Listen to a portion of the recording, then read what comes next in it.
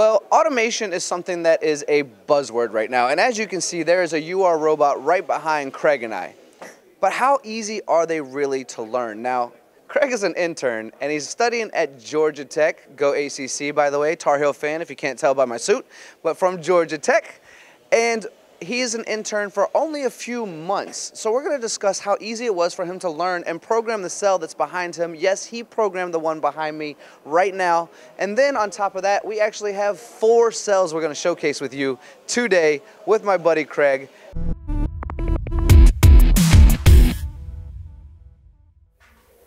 So with that being said, let's talk to my buddy Craig. Craig, how are you, my friend? Doing well. Excellent. Even well on camera with the record button on, right? Yes. You're a young man. You're ready for this. You're Yeah. built for this. So, Georgia Tech, an intern now with Allendale. Let's talk about the Cobot setup behind you. How easy was it really? Yeah, it was just, I mean, it took me like 30 minutes. I'd say I started here about a few weeks ago, and within the first week, I was starting programming robots like the one you'll see later. And it was rough in the beginning, but in reality, it's just practice, and it's not like a language. It's just a command tree you plug in place. So it's, I mean, the learning curve is you know days. Well, let me ask you a question, Craig, because there's this thing that all of the older guys like myself keep throwing out there because we have a skills gap. We go, get the kids in the automation. It's more like a video game and more fun. We say it all the time. Do you have a connection to the automation side more than the CNC side, or do you like all of manufacturing? I'm just trying to gather your perspective because I use it all the time. Yeah, I'll say I do a lot. I mean, a lot of the stuff that I've done in the past has been more uh, manufacturing based, so I can weld, machine, fabricate, and something that I love to do in my free time. And it's also something I do in my degree. But automation I've been doing since high school with um, like Lego robotics and FIRST robotics as well. So I've been doing stuff like that, but this is a completely different you know, robot to program, and it's much more fun, honestly, to see it being used in real world applications that is sometimes hard to get to in a school setting. That's pretty cool explanation. I like that a lot. And it's, it's nice to hear you say that I'm enjoying this more. And I love Lego robotics, to be fair. Now, with that being said, and you set this up and it was fairly easy, we're just more or less moving packages currently, which, in my opinion, as I get older, it's because of my back, right? But there's more applications to this, isn't there? Yes. I mean, this robot behind me, it can do, with the vacuum grippers, it can do box, it can do plate metal. We've had it pick up a sheet of aluminum about you know three feet by two feet wide, and it just picks it up with ease, places it wherever you want it to go. So yeah, it definitely saves your back. You said 35 pounds? Correct. That's more than I can bench. so, with that being said, this is not the only cell you've set up. You have another No. one we'd like to show to the audience as well, over right? there, yeah. Well, let's take a look. Well, now that we've moved to this next cell, Craig, what are we actually working on here? What's going on with this cobot? Yeah, so this one is equipped with a vision system.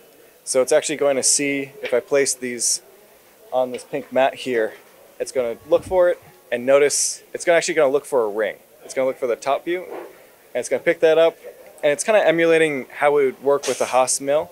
And so we've got the robot picking it up and putting it in a vise within this mill setting and then closing the door.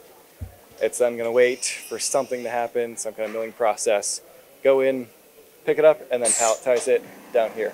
Now, obviously, we're taking a look at this right now, and we're going with the ID instead of OD, but theoretically, with a change of grippers, we can pick up any material, right? Correct. These grippers just didn't have enough space to actually grab the outside of it, which is why we chose the inside. But with any different type of gripper, either custom or already manufactured, you can pick up whatever you want. Well, thank you for being a part of this industry. Good luck at Georgia Tech. Thank you for hopping on camera with me. But now we're going to go see Alec. Awesome. Thank you.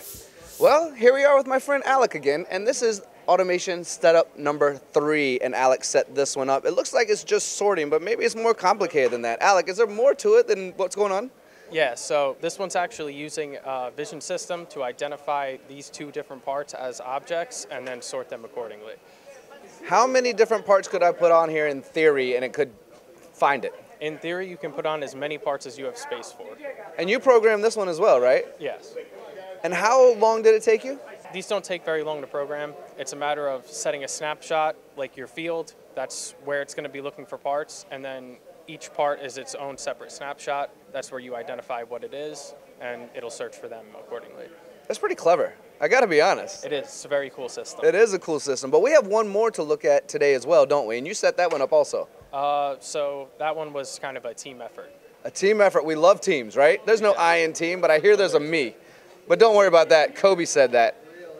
Rest his soul. All right, let's go check out this fourth one. Well, Alec, standing on camera with you right now in front of these cobots is pretty awesome because I also see a tank and an American flag. However, don't let me get confused with what's going on and start talking about everything. Let's focus on what's happening here. We have two robots working together. You mentioned you didn't do this one on your own. This was a team effort, and these are working as a team. Yep. Yeah. So uh, this was kind of an all hands on deck thing.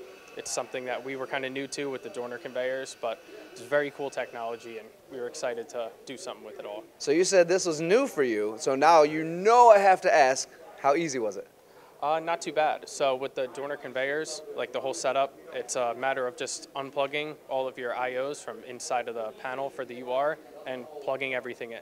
So you don't have to do any of the wiring yourself.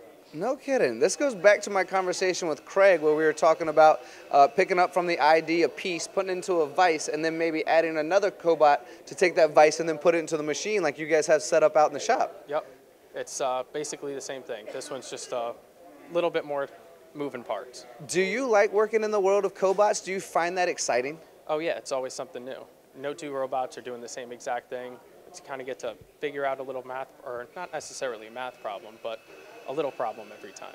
I like it. Well, guys, this is automation. These are four different cells from packaging to pickup to figuring out what a part looks like and separating them to what you see here working together and the conveyor belts but I can only imagine how much more is out there. So let's stay in touch with my buddy Alec here. Let's stay in touch with Craig. Let's see what they're going to do in the next few years because as you can see, Alec is fairly new to this and Craig is at an internship from Georgia Tech. So let's follow them on their journey and get them back on MTD per your request. Leave it in the comments. We'd love to hear from you, Alec. Thank you again for hopping on camera with me. You're amazing. No problem. It's my pleasure.